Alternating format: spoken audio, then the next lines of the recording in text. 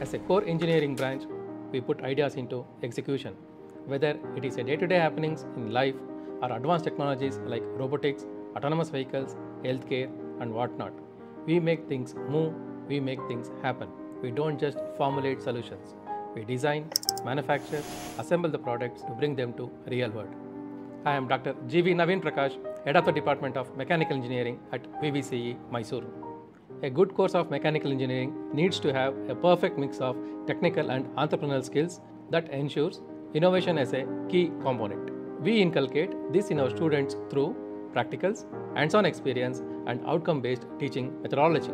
Whether it is a speck of doubt or a spark of innovation, we are always available to help and guide our students with their journey of engineering.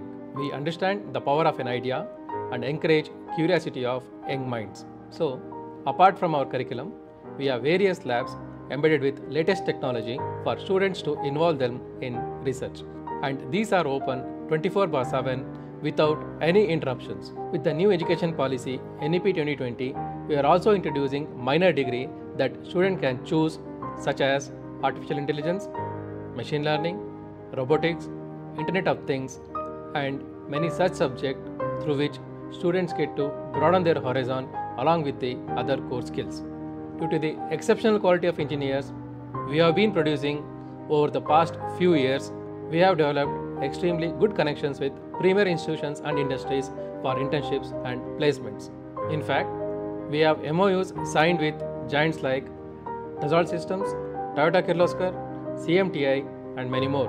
To support extracurricular activities, we run student clubs from our department such as Vaimanika Club for design and building of RC aircrafts as well as drones, VVCE Baja for go-karts and ATVs. We have 80% placement this year and are confident of continuously breaking the record in the upcoming years. Come, be a part of a whole new world.